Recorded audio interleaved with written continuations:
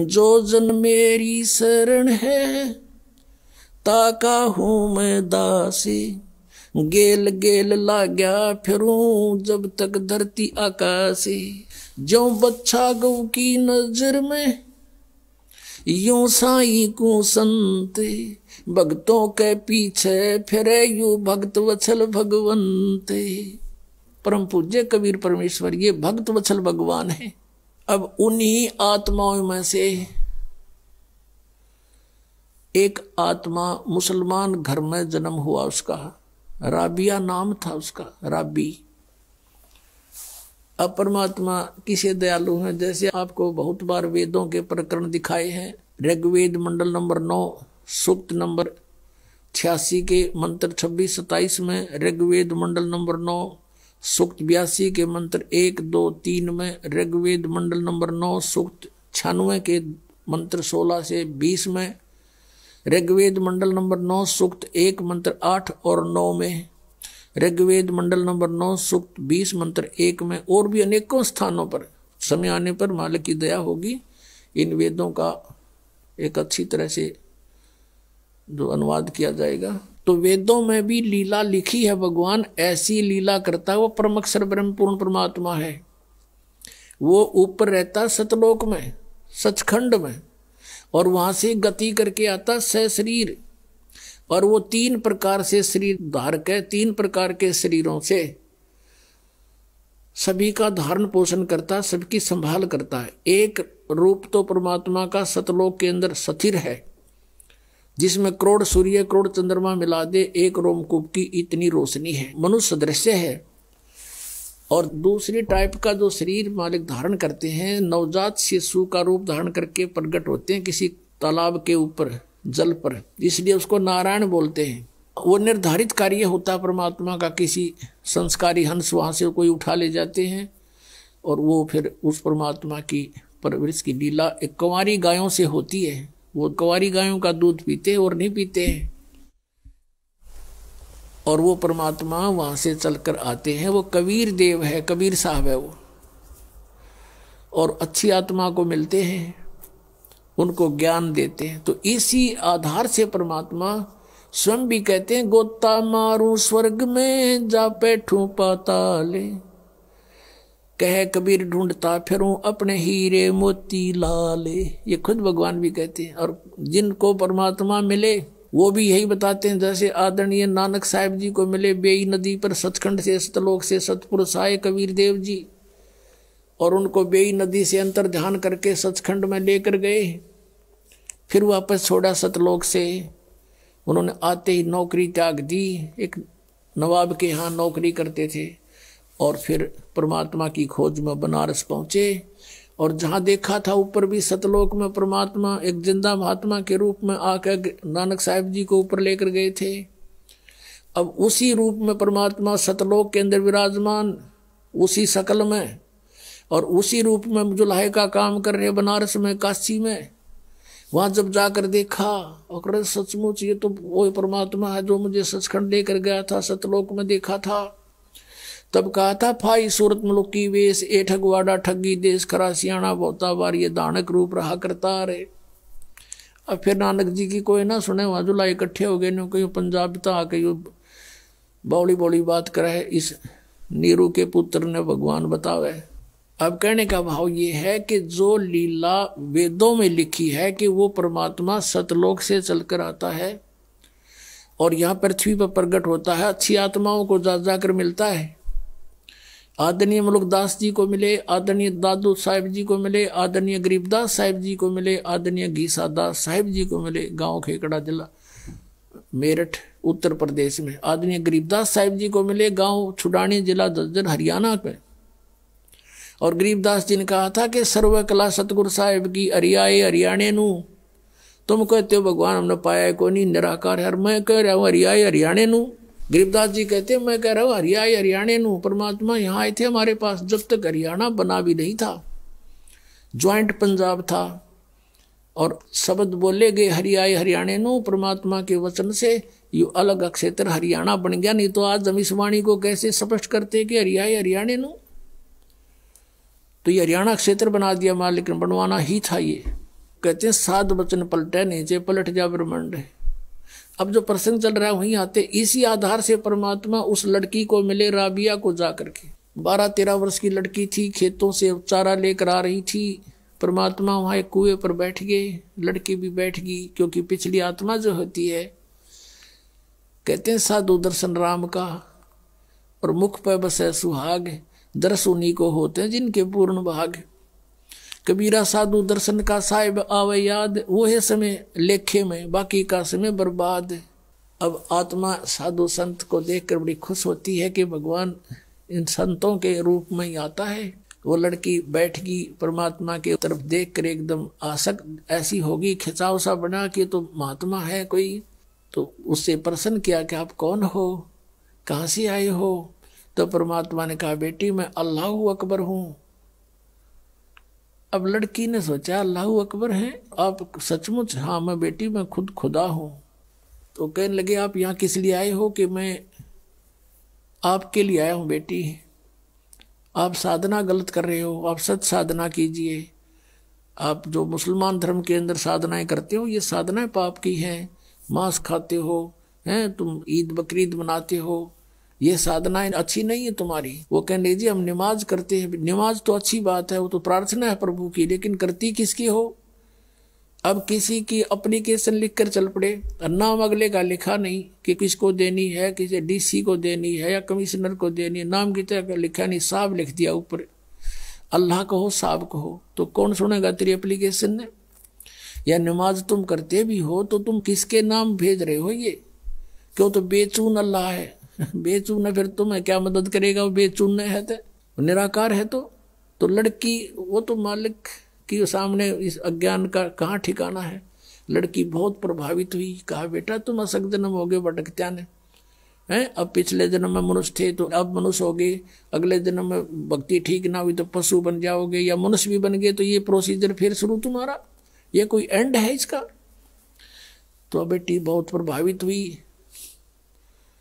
और उसने कहा, भगवान, फिर क्या करूँ? कि बेटी, उपदेश ले मेरे से। और भक्ति कर डट के अपना भजन किया करे। कहने लगे, जी, ये साधना है जो मुसलमान धर्म की है, कि ये ना करना बिल्कुल भी। जैसे मैं कहूँ, ऐसे नमाज़ ये कर दो, मैं आपको बता रहा हूँ, भक्ति करते रहना। और ये मांस मिट्टी नहीं खाना। जो बोले, जी, वो कंपलसरी कर देते हैं, नमाज़ भी करनी होती है, कि नमाज़ भी कर लेना, लेकिन टेक का मत्था अपना यु मंत्र करती रहिए। बस, हो गई नमाज़?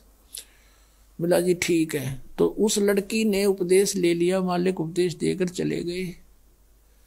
इतनी प्रेरित होगी ज्ञान से, उसने फैसला कर लिया कि मैं विवाह नहीं कराऊँगी और अपना मोक्ष कराऊँगी।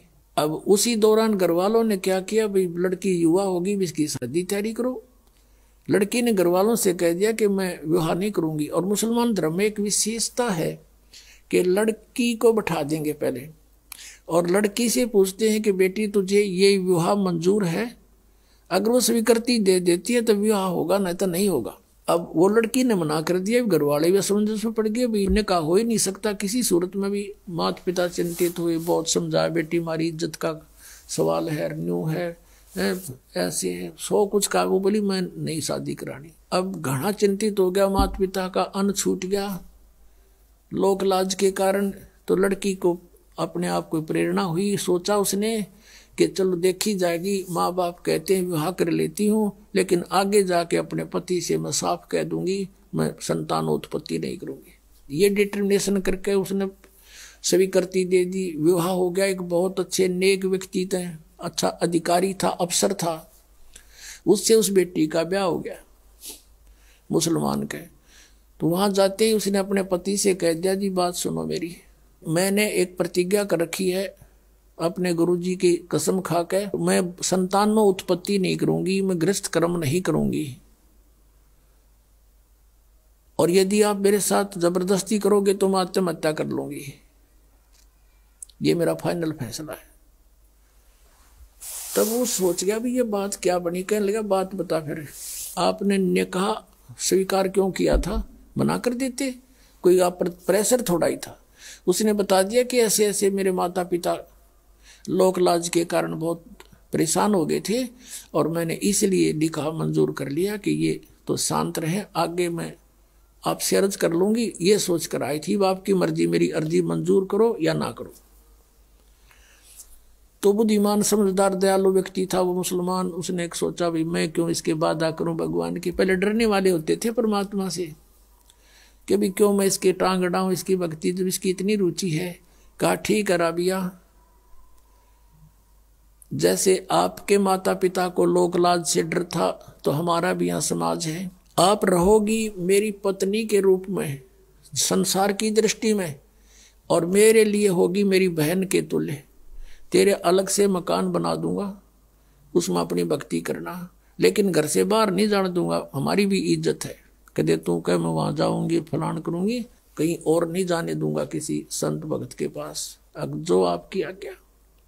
अब उस लड़की ने चार वर्ष तो साधना वो की जो परमात्मा ने बता रखी थी, फिर वहाँ आने लगे जो अलग से उसका कमरा बना दिया, उस मुसलमान भगत ने अपनी दूसरा ब्याह करवा लिया। मुसलमानों में कई कई शादियाँ हो जाती हैं। तो वहाँ आस पड़ोस की और भी भगतनी जो मुसलमान वर्ग की थी, धर्म की, वो आने लग। गए हैं, वो कहने लगी, बता तो कुछ भी ना करती, या कोई बात हुई, यानी कुछ दिन में वो परमात्मा वाला ज्ञान हट गया, वो लोक वेद फिर समा गया उस बेटी में। और वो ही मुसलमान धर्म वाली क्रियाएँ उसने शुरू कर दी। काल का दी जाल है कसूता। अब वो करती रही अपनी साधना, वो पचास वर्ष की होगी। पचास वर्ष की आयु जब होगी तो उसने अपने पति से कहा कि आपकी आज्ञा हो तो मैं मक्का जाना चाहती हूँ हज करने के लिए। और हज करना कंपलसरी होता मुसलमान धर्म में। वो ये मानते हैं, जिसने हज कर ली, वो स्वर्ग का वासी हो जाता है। उसको लाभ होता है। तो सभी बूढ़े बुज़ुर्गों को हज अवश्य करवाते हैं। उसके पति ने सोचा कि भी मैंने देख लिया, इसको तीस पैंतीस वर्ष हो गए। मैंने कोई भी ऐसा इसका आचरण नहीं देखा। इसलिए उसने उसको अलाउड कर दिया कि आप जा सकते हो। और कहो तो मैं आपके लिए कोई ऊँट की व्यवस्था कर दूँ, सवारी की? राबिया ने कहा, नहीं, मैं पैदल जाऊँगी। जैसा हमारी सोच है कि पैदल जाने तक घना लाभ होगा। अब वो चल पड़ी क्योंकि काफ़ी व्यक्ति जाते थे, पैदल जाते थे, लारा लग जाता था, लाइन लग जाती थी तो वो लड़की भी चल पड़ी। अब वो जा रही थी चलते चलते रास्ते में, रेगिस्तान में, एक कुआ था। कुएँ के पास एक कुतिया प्यासी थी, बहुत प्यासी थी।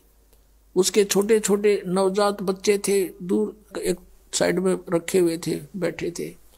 आँखें भी नहीं खुली थी उनकी। और वो बहुत प्यासी थी, और कभी तो राबिया के चरणों की तरफ़ आ रही है, फिर भागकर कुएँ में झाँक रही है।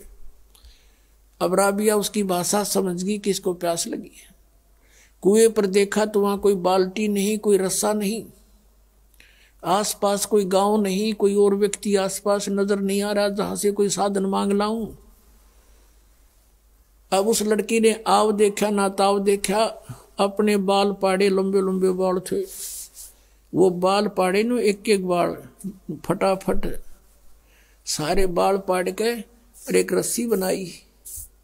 ये है मुसलमान, ये मांस खावर उदमस्ता रहे ये मुसलमान नहीं है। वह लड़की थी मुसलमान। कहते, दया बिना दरवेश कसाई, जिसके दया नहीं, वो भगत किसा लंबी लंबी, इतनी लंबी रस्सी बांटी अपने बाढ़ाते हैं। बहुत नीचे दल होते थे और अपने वस्त्र निकाल कर पहले मोटे मोटे खद्दर के कपड़े होते थे। वो कपड़े निकाल कर उसका बाँध के और पानी में भिगोए। एक मटका पड़ा था, टूटा हुआ, गड़ा, आधा हिस्सा। उसको निचोड़ा और उसमें डाल देर कुतिया टूट कर पड़ गई। साथ की साथ पी जावे। तो कुतिया को पानी से छकाया। और अपना जो लो लोवान होगी, थी वो कपड़े ऐसे अपने कपड़ों से पहुँच के उनको धो धा के, सूखा झाड़ झूड़ के ऐसे और पहन लिए। और पहन के चलने की तैयारी की थी मक्का में। कहते वो मक्का वाली बिल्डिंग एज इट इज़ उठ के, और वहाँ आ खड़ी हुई। उस कुएँ के साथ में जैसे प्लेटफार्म पर रेलगाड़ी लग जाती है, उसने देखा मक्का मक्का पहुँच गई। मैं सपना सा हो गया, एकदम दौड़ के उसमें चढ़ी चलते ही वो वहाँ से उठा और उसमें सारे यात्री उसके जितने जा रहे थे, माथा मुथा टेके थे, वो सारे उसके अंदर। और वहाँ मक्का है नहीं स्थान पर, वहाँ सारे देखें कित गया वो, हमारा मक्का। तो फिर कुछ देर के बाद वो विमान की तरह वापस जाके वहीं स्थापित हो गया। अब इस कारण से पूरे मुसलमान धर्म में, उस क्षेत्र में ये हो गया, वह भक्ति होता राबिया कैसी? भक्ति होता राबिया जैसी। मक्का भी वहाँ बुला लिया, राबिया ने, पक्का उसके लिए वहाँ पहुँच गया। अपने आत्मा ये समझना कि जैसे दास आपको बता रहा था कि पहले जो भी हमें सुख होता था या कोई घर में ऐसी अच्छी घटना होती थी तो हम ये सोचा करते थे, जो साधनाएँ हम कर रहे हैं, इसी से हुआ हमारा। और ये थे पिछले पुण्य, उन पुनों से उसके अंदर दया हुई, दया से उसमें इतनी हिम्मत आई कि बाल पाड़ दू, पाड़ के दिखाओ चार बाल आप। पता लग जा। तो पिछले संस्कार से इतना प्रबल किया करे करा वैसा या मन में लहर उठा, दादू से जीव के आप बगल हो जा। उसके बाद वो तो उधर तो प्रशंसा की पात्र बन गई, सब जगह गुणगांव में अगला जन्म उसका एक बनसुरी नाम की लड़की का हुआ। बंसुरी नाम की लड़की का। और उसने फिर इतने राग रूग गाए, यानी वो डांस डूंस करने वाली जो ये होती है ना, लड़कियाँ, उसका जन्म हो गया। लेकिन आस्था भगवान की फिर भी तो वो मक्का में गई और उसने ये सुना था कि अभी मक्का में जिसकी मृत्यु हो जाती है, वह सीधी भिस्त चली जाती है स्वर्ग में।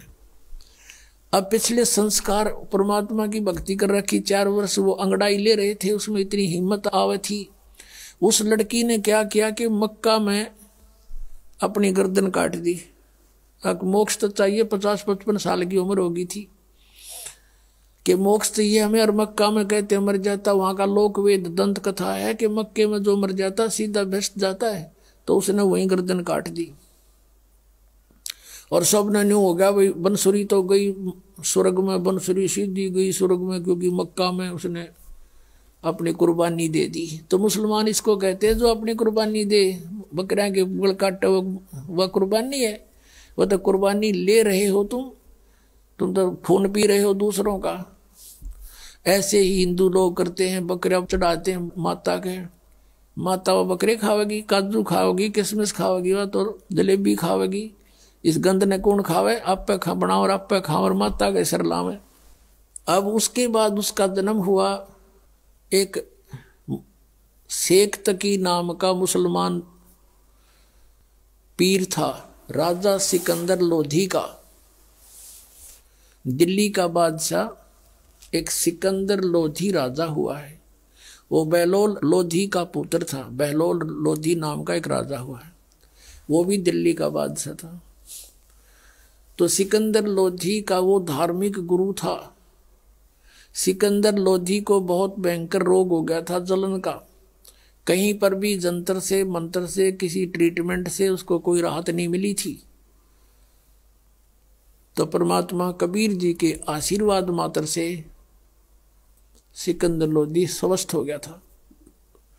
और उसके बाद वो परमेश्वर कबीर देव जी की बहुत इज़्ज़त करता था, उनको बहुत आदर देता था। जो धार्मिक उसका गुरु था मुसलमान, शेख तकी, वो कबीर जी से ईर्षा करने लग गया कि तेरी रोजी रोटी जावेगी, राजा का ज़्यादा इसम प्रेम बढ़ गया। वज़ीर और फकीर आपस में ईर्षा करे बिना रहा ना करें। तो बहुत ज़्यादा ईर्षा करने लग गया। उसने सोची, कबीर जी को नीचा दिखाऊँ। अब किसी ने कबीर जी को ऐसा राजा की दृष्टि से गिरा दूँ इसको। ऐसे अवसर की खोज करने लगा। एक दिन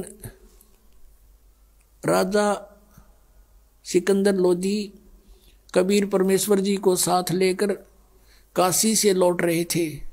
बनारस से। दिल्ली आ रहे थे, शेख तकी भी साथ था।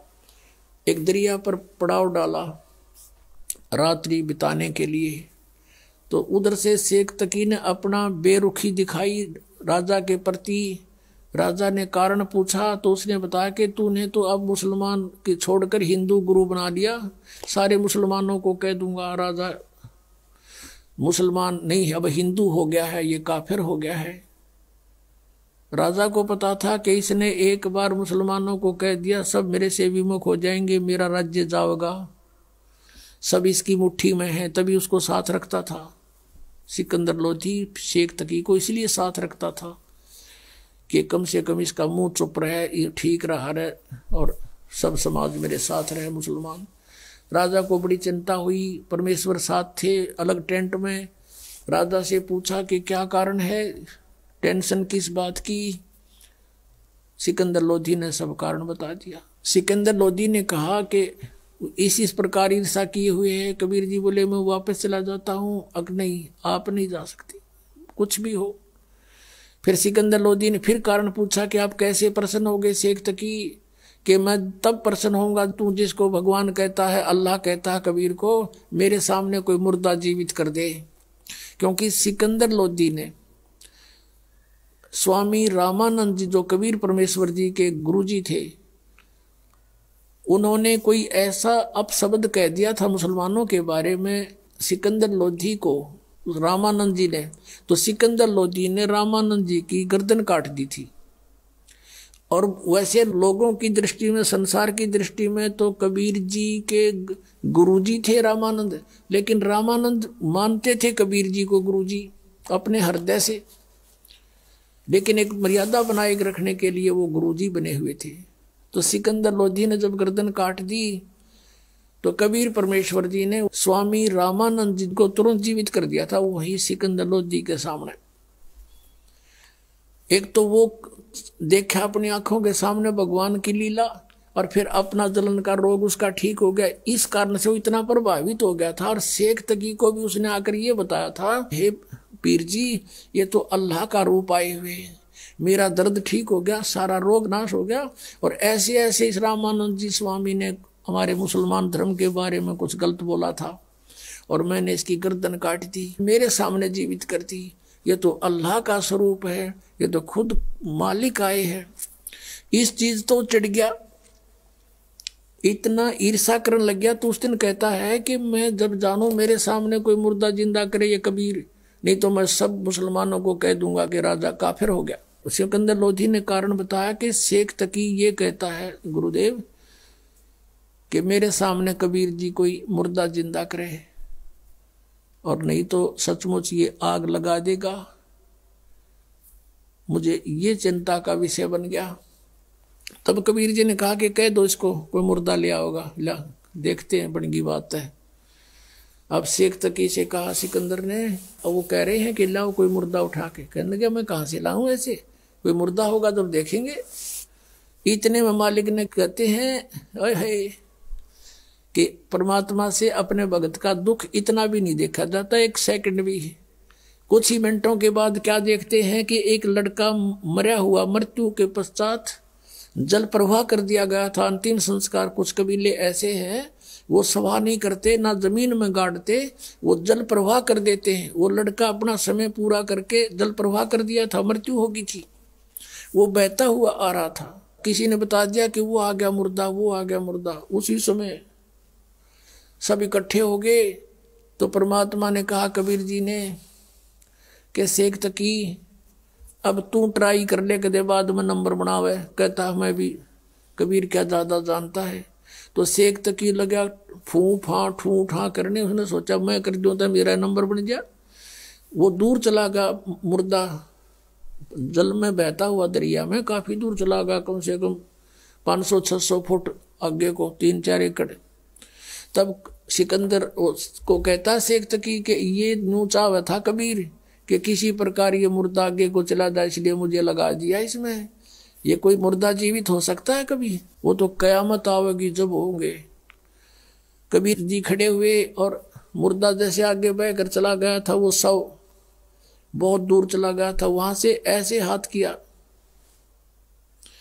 वो मुर्दा, वो शव वापस चल पड़ा। अब स्ट्रीम में जैसे जिधर से पानी बहकर जा रहा था, वापस आ गया। वो परमात्मा के पास और परमात्मा ने कहा, ये आत्मा कबीर हुक्म से इस मुर्दे में प्रवेश कर जहाँ भी है वापस आ जा और बाहर आ जा तू एक सेकंड में। उसी समय लड़का जीवित हुआ और कबीर जी के चरणों में आकर प्रणाम किया, बोलो, सतगुरुदेव की जय। अब शेख तकी कहते, दूने जो कहते हैं ना, तेल पर छीटे लगे, उसके और ज़्यादा ईर्षा बढ़ गई कि इसने जुल्म कर दिया, ये तो और ज़्यादा हृदय में समा गया। अब उस लड़के के बारे में कहा, उपस्थित लोगों ने कि कमाल कर दिया, कमाल कर दिया, लड़के का नाम कमाल रख दिया। अब वहाँ से दिल्ली आ गए अब शेख तकी ने सभी मुसलमानों को इकट्ठा किया कि भी राजा तो धर्म प्रवर्तित करने वाला है ऐसे ऐसे काफिर को हिंदू को साथ रखता है। और कुछ करो भैया। ये मुसलमान कहने लगे, बोलो, पीर जी, तुम जो कहोगे, हम वही करेंगे कि चलो राजा के पास। राजा के पास पहुँचे। हज़ारों की संख्या में लेकर सटराई कर दी उसने तो प्रदर्शन कर दिया। राजा ने कारण पूछा। शेख तकी ने कहा कि जिसको तू लेकर आया है कबीर को, वो लड़का तो सदमे में था और वो ऐसे जीवित होना ही था। वो तो ताज़ा मरा हुआ था। मैं जब जानू मेरी लड़की अब वो लड़की जो थी राबिया, वो तीसरा जन्म शेख तकी के घर पर जन्म था और वो बारह वर्ष की होकर मृत्यु को प्राप्त हो गई थी। उसका खत्म हो गया था वो जीवन मनुष्य का। आगे मनुष्य जीवन शेष नहीं था। तो शेख तकी ने अपने मुसलमान रीति से लड़की का अंतोष्टि कर रखी थी कब्र में दबा रखी थी। तो सिकंदर लोधी से कहा शेख तकी ने कि मैं जब जानू मेरी बेटी ने जीवित कर दे, यू कबीर इज़ गॉड, मैं मान लूँगा इसको। और नहीं तो हम बगावत करेंगे। अब फिर टेंशन बना दी। परमात्मा अंतरियामी थे, वो तो सारी फड़क निकालने के लिए तो गए हुए थे। कबीर जी ने पूछा परमेश्वर ने, सिकंदर जी से कि क्या हो गया राजन? कुछ मायूस नज़र आ रहे हो? राजा ने सारी अपनी समस्या बताई। अब कहते हैं, अपने भगत का दुख भगवान देख नहीं सकता। कहने लगा भी ठीक है, इसको कह दो शेख तकी को। आज से तीसरे दिन वह लड़की जीवित करूँगा और आसपास डंडोरा पिटवा दो प्रचार करवा दे, राजा तुम ताकि कदे दस बीस का मैं ना मानना ही सारा संसार देख ले। आस पास के मुनादी करा दी गई मुर्दा जीवित किया जाएगा, कबीर नाम के संतारे हैं, बड़े महापुरुष पहुँचे हुए हैं। सिकंदर लोध जी के जलन का रोग भी उन्होंने ठीक किया, क्योंकि राजा का रोग था, सबको चिंता थी। और वो स्वस्थ हुआ तो सबके खुशी सब चर्चा का विषय हुए हुए थे कि वही संत आए या वही आए। जिन्होंने सिकंदर लोधी का रोग नाश किया, कहा वही आए।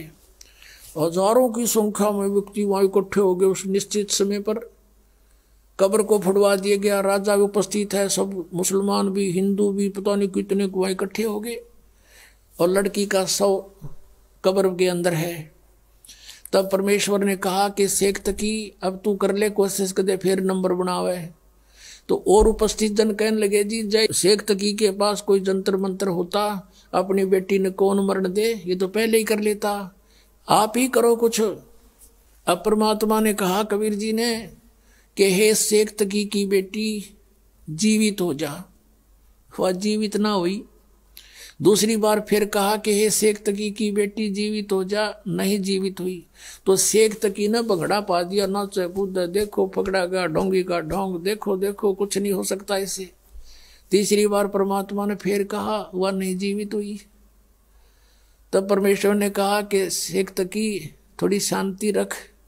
अखोरी शांति पकड़ा गया तेरा ढोंग देखो पाखड़ देखो पाखड़ तब परमात्मा ने कहा ये जीवात्मा, जहाँ भी है तू कबीर हुक्म से वापस सारी प्रवेश कर बेटी के शरीर में बाहर आ जा। दो सेकंड में सारा शरीर कंपने लगा। लड़की उठ के परमात्मा के चरणों में दंडवत प्रणाम किया। बोलो, सतगुरुदेव।